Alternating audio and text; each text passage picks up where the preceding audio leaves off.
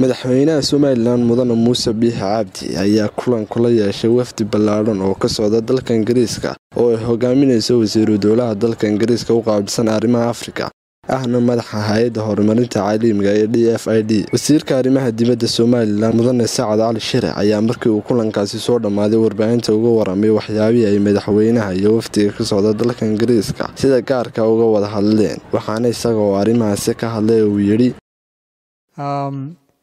waxaa maanta halkan ku soo siyaartay madaxweynaha wafdi ballaadhan oo ay hogaaminayso wasiiru dowlaha arrimaha dibadda ee qaabilsan afrika iyo oo ahna isla markaana wasiiru dowlaha david madaxweynaha waxay ka wada hadleen waxyaabo fara badan oo ay ka mid tahay iskaashiga labada dal dhinaca horumarka dhinaca nabadgelyada dhinaca kaabayaasha doorashooyinka wadahadallada somalilan iyo soomaaliya.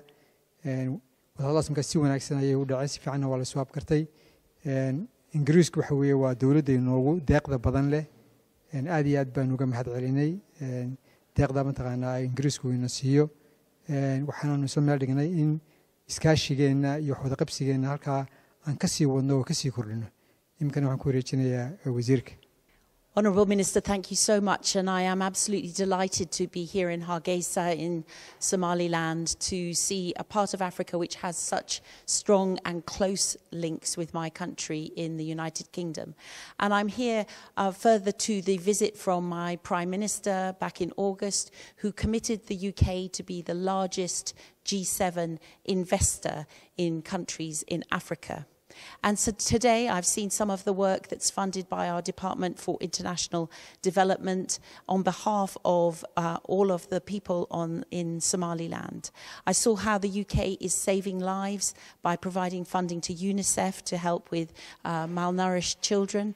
I saw how uh, the Somali uh, uh, Somaliland Development Fund has uh, helped to increase the water supply here in Hargeisa.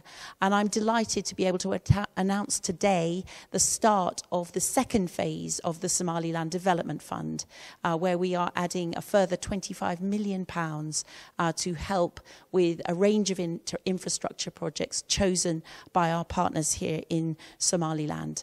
I was also delighted to welcome the President's commitment commitment uh, to democracy and to hear about progress towards parliamentary elections in 2019. And I very much welcome the fact that across the whole of East Africa and the Horn of Africa, there is a spirit of peace and cooperation breaking out. And I strongly urged uh, everyone to work together in. Suhaib Shafii Mohamed, Star TV, Hargeisa.